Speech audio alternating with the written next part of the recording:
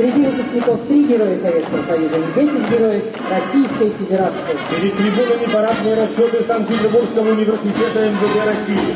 В строю наследники славных традиций Ленинградской дивизии, сотрудники которых в составе дивизии НКВД первыми встали на защиту города, обеспечивали охрану общественного порядка, борьбу с преступностью, бандитизмом и диверсантами в осажденном Ленинграде. Являясь правоприемником образовательных организаций, созданных